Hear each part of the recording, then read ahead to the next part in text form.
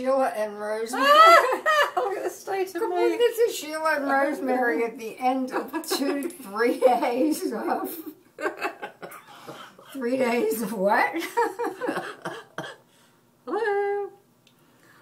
You're not talking at the end of three days of Be the Change at two o'clock in the morning or something.